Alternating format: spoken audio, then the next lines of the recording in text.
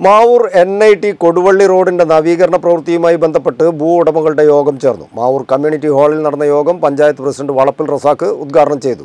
റോഡിന്റെ സാമൂഹികാഘാത പഠനം നടത്താൻ നിയുക്തരായ Rajagiri college of social science പ്രതിനിധികളുടെ നിർദ്ദേശാനുസരണമാണ് യോഗം വിളിച്ചു ചേർത്തത്.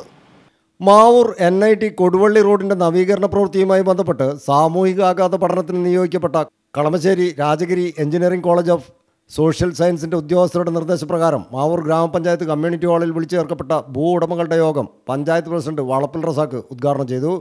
Mavoor N I T Koduvally road വികസനത്തിനായി കോഴിക്കോട് താലൂക്കിലെ മാവൂർ പൂളക്കോട് ചാത്തമംഗലം താമരശ്ശേരി താലൂക്കിലെ കൊടുവള്ളി വില്ലേജ് തുടങ്ങിയ പ്രദേശങ്ങളിലെ റോഡിനായി സ്ഥലം വിട്ടുകൊടുക്കേണ്ടി വരുന്ന ഉടമകളെ നേരിൽ കണ്ട് അവരുടെ പ്രശ്നങ്ങൾ മനസ്സിലാക്കുന്നതിനും മറ്റു തരത്തിൽ റോഡിനുണ്ടാകാനിടയുള്ള ആഘാതങ്ങൾ വിലയിരുത്തുന്നതിനുമാണ് യോഗം വിളിച്ചു ചേർത്തത്.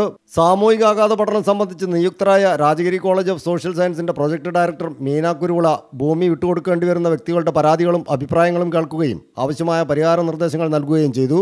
നിലവിൽ അൻപത്തിരണ്ട് കോടി ഇരുപത് ലക്ഷം രൂപയാണ് റോഡിന്റെ പ്രവൃത്തിക്ക് വേണ്ടി പാസാക്കിയിട്ടുള്ളതെങ്കിലും മാറിയ സാഹചര്യത്തിൽ അറുപത്തെട്ട് കോടി രൂപയെങ്കിലും ഈ റോഡിന്റെ പ്രവൃത്തി പൂർത്തിയാക്കാൻ കണ്ടെത്തേണ്ടി വരുമെന്ന് യോഗത്തിൽ അധികൃതർ വെളിപ്പെടുത്തി പാരിസ്ഥിതികാഘാത പഠനം സമർപ്പിച്ചാലുടനെ തന്നെ റോഡിനു വേണ്ടി അലൈൻമെന്റ് സർവേ പ്രകാരം ഏറ്റെടുക്കേണ്ട ഭൂമിയുടെ റവന്യൂ സർവേ നടത്തി അക്വിസിഷൻ നടപടികളിലേക്ക് കടക്കുമെന്ന് K R F B assistant executive engineer J Shanu അറിയിച്ചു. Action committee chairman N Vasudevan Nair Rajagiri college of social science പ്രതിനിധികളായ Biju C P Maria Tancy Vinayan തുടങ്ങിയവർ യോഗത്തിൽ സംബന്ധിച്ചു. News bureau Mavoor.